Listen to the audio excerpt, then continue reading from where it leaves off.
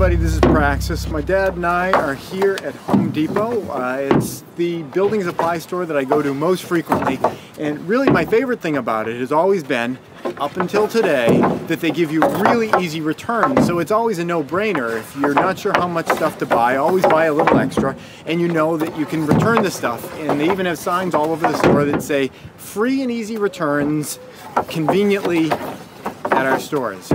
Um, you probably already know the, the topic of this video. Uh, my dad uh, came visiting uh, today's River's birthday party. Uh, he brought the truck so that he could give me a hand. We're a little short on 2x4s at the build site. Uh, we've got 70 more 2x4s. And the other thing that we were doing during this trip is bringing back the spare wire lath that we had picked up earlier. I bought it here at Home Depot on a big pro order. I knew that I was overbuying, but I made sure I checked with the people to make sure it'd be fine to return the stuff, no problems, like, you know, if it was going to be several months later because we didn't know how much we were going to use.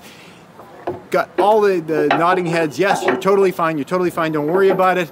And today we came back and we got rejected for our return. I have 64 sheets of wire lath. Uh, we, it, we were planning on using a lot of that underneath the roofing area, but we just, it, it became difficult to get it up there. We decided to come up with another approach to do that. So so we decided to, you know, just, you know, return the stuff. Uh, we used a ton of it around the uh, perimeter of the foundation for all the stucco work and everything, but we had 64 sheets left over. So we drove them all the way here and there was nothing they could do to help us. They, they gave us a, a phone line that we could call and request some kind of like dispute resolution that I don't know if that's going to resolve anything. Um, it seems like it's just a kick the can down the road kind of thing um, because we have the receipt. They know that we bought it here. They agree that we bought it here, but they just they said that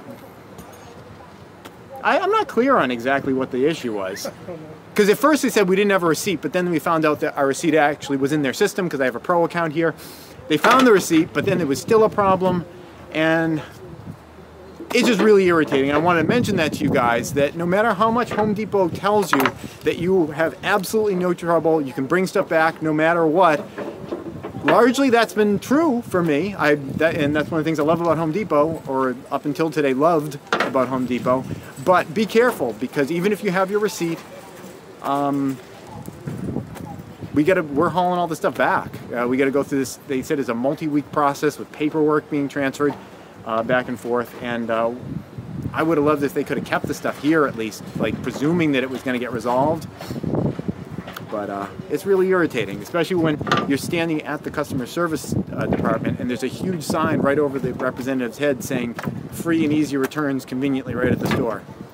With no asterisks. They didn't even put an asterisk next to it. So.